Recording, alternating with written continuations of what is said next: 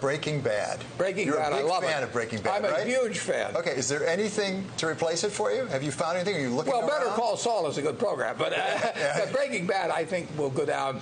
I mean, in terms of both the the writing.